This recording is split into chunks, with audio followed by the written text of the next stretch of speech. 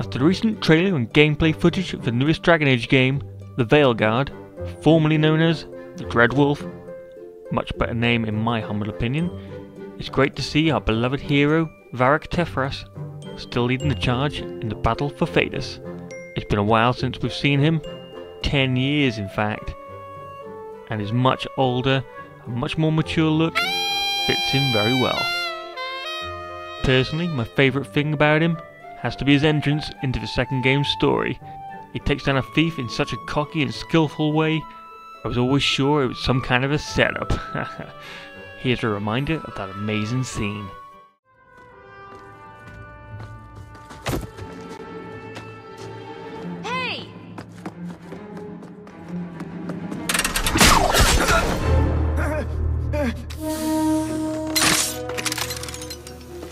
Guy once who could take every coin out of your pockets just by smiling at you. But you, you don't have the style to work high Hightown, let alone the Merchants Guild. You might want to find yourself a new line of work. Off you go.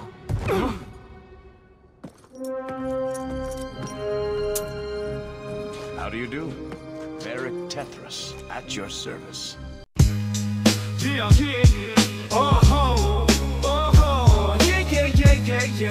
In case you need any other reasons, here's 5 more reasons why Varric is the best character in Dragon Age. Number 5. His witty humour. Ever since his first appearance in Dragon Age 2, his amazing one-liners and his need for nicknames makes him such an enjoyable character to bring along on any quest. His same wit followed through into the Inquisition title as he continued to tell such amazing stories and versions of events as he travelled with the Inquisitor. You're strong and handsome, and so very smart. What? Why lie now about this? Some of these nicknames are amazing, such as Sunshine, Daisy, Blondie, Rivaini, Junior, Curly. You remember these? And even Ruffles. it's pretty cool that Hawke could have a, a, few different names depending on how you chose to act throughout the game. It's one of those things with Dragon Age 2 that made it quite an interesting game. Number 4. He's actually an excellent rogue. Varric can be upgraded to learn how to use many specializations, whether it be lockpicking or sneaking in the shadows for that perfect sneak shot. He's a little limited as he refuses to use any other weapons in the game, but does have extra perks due to the years of knowledge and expertise in firing his beloved crossbow, Bianca. I did like the fact that you could upgrade certain parts of his crossbow in Inquisition, and I'm kinda glad they gave him such a connection to a certain type of weapon. Number 3. His dress code. Varric has looked amazing in both the previous game titles he's been in. That signature long overcoat just beams cool.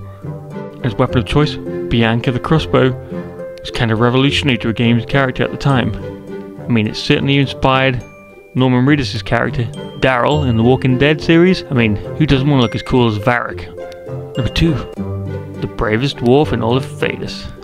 For a surface-dwelling dwarf who was raised in Kirkwall his entire life, he was happy to follow his late brother, Bartrand, into the terrifying deep roads, and even returned there on numerous occasions despite all of his dangers. He's always had his leaders back, no matter what the odds were, and his jokes really do help things in the middle of a scary expedition. The recent preview shows him coming face to face with the powerful mage Solas with little to no fear. He just tried to talk his friend off a ledge. What a legend. And finally, number one, his love for Bianca. Varric's weapon of choice in the first two games, and now at the beginning of Veilguard, is his trusty crossbow, Bianca.